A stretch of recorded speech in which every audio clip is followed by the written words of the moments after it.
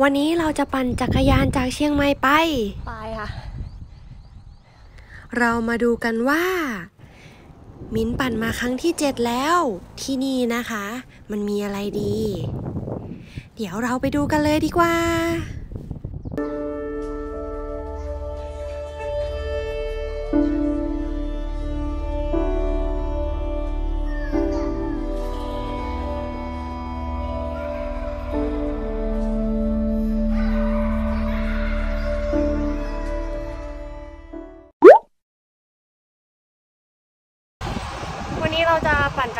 ท้ายนะคะ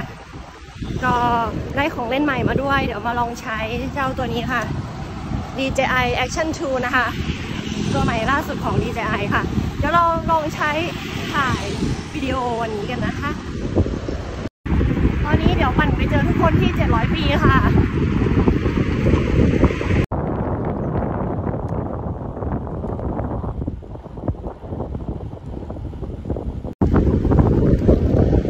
เฮ้ยออกบ้านสายโคนเหนื่อย ตอนนี้เราถึงสนาม700ปีแล้วนะคะ เดี๋ยวเรามารู้จักสมาชิกทุกคนในวันนี้กันค่ะ อะ คนแรกทันค่ะทันครับผมนี่สวัสดีค่ะมิวค่ะ น้องมิวนะคะ เป็นผู้หญิงอีกคน ครับรถครับผม น้องนนท์ค่ะมาครับพี่ไม้ค่ะ น้องโจยี่ครับอุ้ยพี่อี้นะคะ ก็เดี๋ยวมิ้นลองถ่ายด้วยตัว DJI Action 2 ตัวนี้นะคะ ลองซ่อนไว้ในเสื้อค่ะด้วยตัวแม็กในตัวนี้ นี่ นี่ยคะไม่หลุดนะคะแมกเนตเขาแน่นมาก เดี๋ยวเราลองใช้ดูค่ะ ใช้ถ่ายดูนะคะ วันนี้มินจะสลับถ่ายกล้องธรรมดากับกล้อง DJI Action 2 นะคะ ให้เห็นกันชัดๆเลยค่ะว่าแตกต่างกันยังไง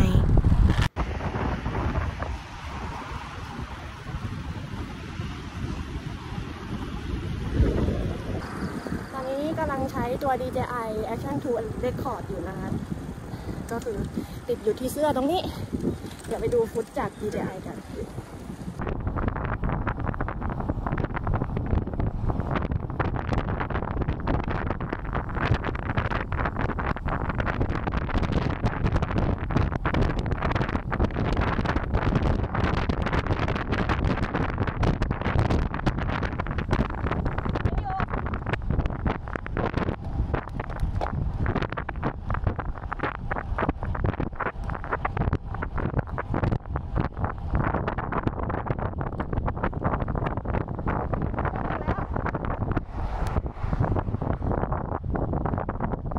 พอสลับกล้องมาถ่ายด้วยกล้องธรรมดาจะเห็นชัดเจนคือสีมันจะแตกต่างกันมากเลยนะคะ สีของกล้อง DJI Action 2 เนี่ยก็จะสดใสมากๆเลยไปดูกัน แบบนี้นะคะ สีไม่ต้องแต่งอะไรเลยก็คือสวยๆ แล้วก็นิ่งชัดมากเลยค่ะ ตอนนี้เราถึงร้านกาแฟแป้นเกตแล้วค่ะ เดี๋ยวเราแวะกินกาแฟนิดนึง 53 กิโลพอดี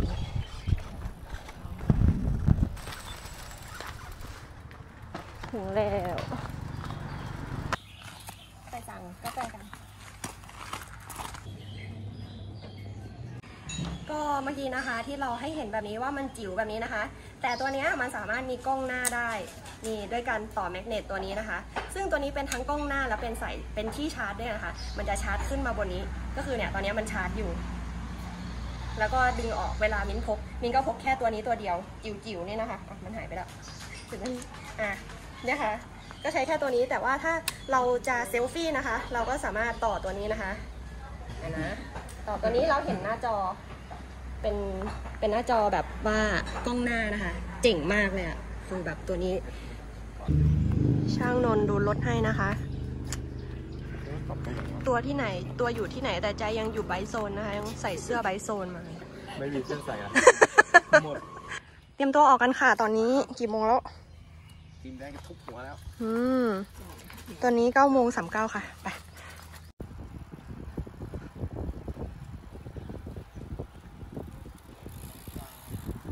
รถหลัง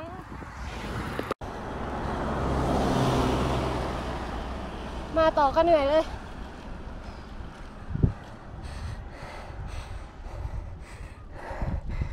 แล้วก็จะเริ่มขึ้นกันจริงจังแล้วนะคะไป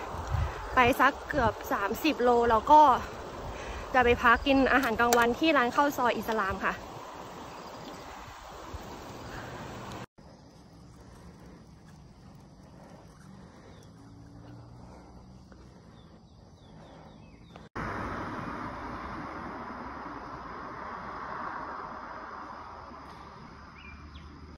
แป๊บๆนะไต่มาแล้ว 900 เมตรแล้วค่ะ มีแดดร้อนสลับกับแดดร่มนะคะ เอาเรื่องเหนื่อย 60 โลค่ะเฮ้ย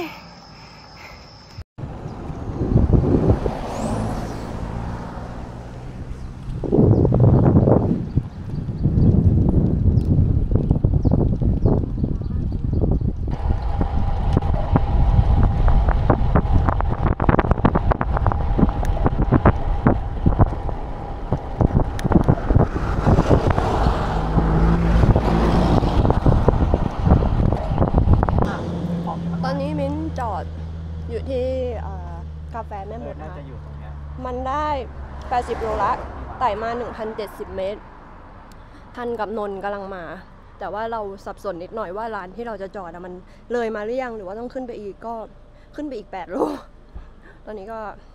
พักแป๊บหนึ่งแล้วเดี๋ยวขึ้นกันต่อค่ะ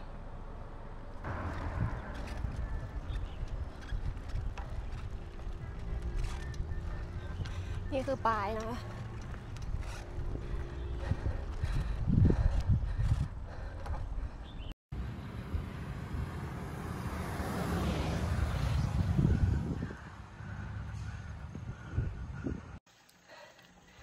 โค้งๆค่ะ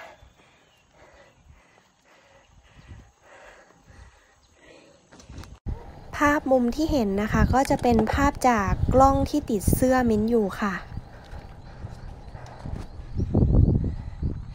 ไปค่ะ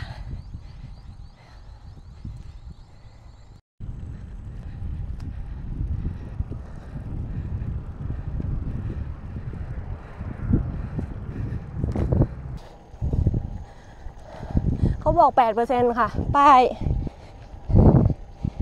เดี๋ยวมาดูกันว่า8จริงไหม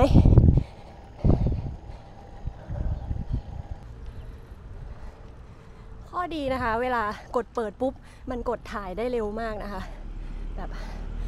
ระบบเครื่องนี่แบบสั่งการรวดเร็วมาก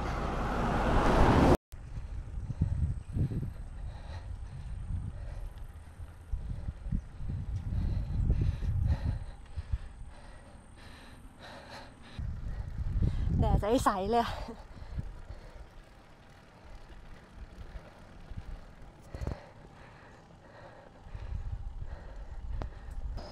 เส้นทางปลายนะคะ เป็นเส้นที่มิ้นมากี่ครั้งก็ไม่เบื่อเลยค่ะ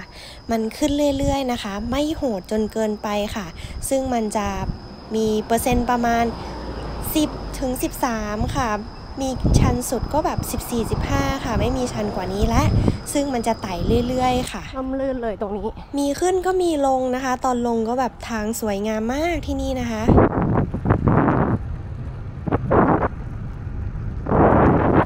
ตอนนี้เรา ถึงร้านข้าวซอยอิสลามแล้วนะคะ ก็เป็นร้านประจำที่มิ้นมาแวะตอนมาปลายตลอดเลยระยะทาง 88 โลแล้วค่ะ ปีนมา 1,360 ค่ะ ก็เบิร์นไปเกือบ 2,000 แล้วมิ้นอะเดี๋ยวกินอะไรก็ได้ละพี่โจยี่ถึงแล้วนะคะไปเข้าไปสั่งกัน มาแล้ว แล้วตอนไปรอตรงคับอะก็เปิดแมปดูเห็นเป็นอิสลาม แล้วก็ปั่นมาอีกก็ยังไม่ถึงหรอวะก็เปิดอีกทีแบบนึกว่าตอนนั้นที่เห็นแบบว่าทำแมปกับทิศอะมินก็ตกใจเหมือนกันว่าเฮ้ย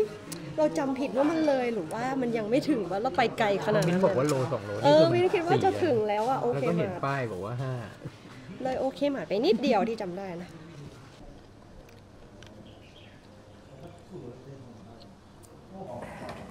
ก่อนออกนะคะเปรี้ยงเลยแดด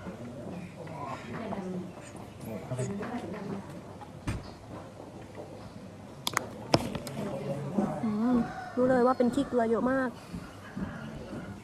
ได้ครับขี้เกลือไปเลยนะคะเติมโหดจริงว่ะดี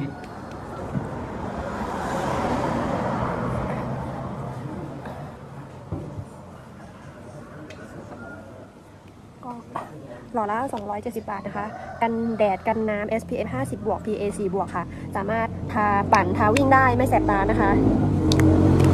ครีมกันแดด Sunny Day นะคะ มิ้นท์เป็นเจ้าของเองเลยนะคะ ใครอยากสั่งก็สามารถสั่งได้ที่มิ้นท์เลย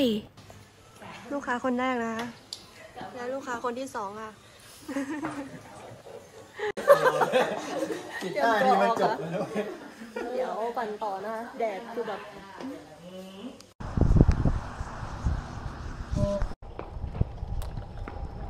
ไปกันต่อ ที่กิโลเมตร 88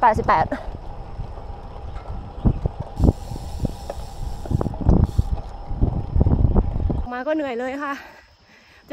7%ตรงนี้จะขึ้นไปยาวๆแล้วค่ะ หลังจากร้านข้าวซอยนะคะ เราจะต้องเตรียมใจไว้เลยค่ะว่ามันจะขึ้นไต่ขึ้นยาวๆแล้วนะคะ เส้นตรงนี้มันก็จะ 10 กว่าเปอร์เซ็นต์เรื่อยๆ ยาวๆค่ะ แต่วิวสวยมาก ตรงที่ต้นไม้ร่มก็จะร่มลื่นเลยนะคะ แล้วเรา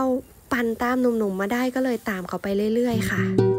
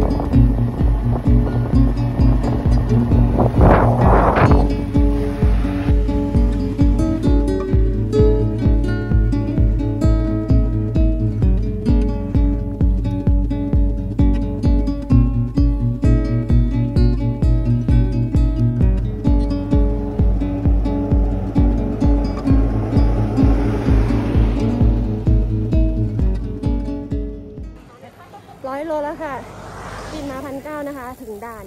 ก่อนเข้าไปแล้วค่ะ นี่ก็ถึงด่านตรงนี้แล้วนะคะ เดี๋ยวรอทันกับหมิวแป๊บนึง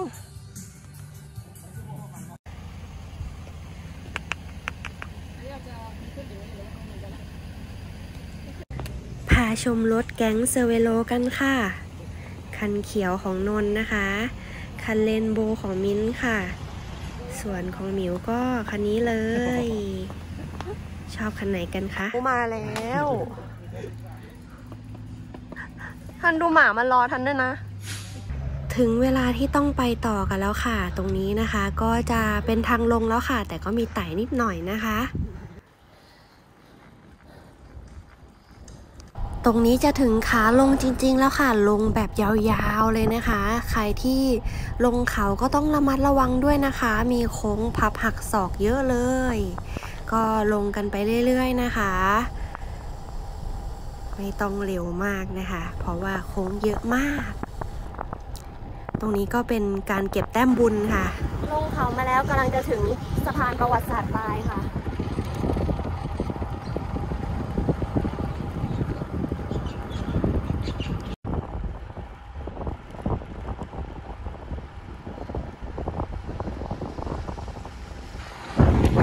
มาแล้วนะคะ ห ลังจากไม่ได้เจอกันนาน ถึงแล้วค่ะสะพานประวัติศาสตร์ตายนะคะ 120 โล ปีนมา 2,000 พอดีเป๊ะ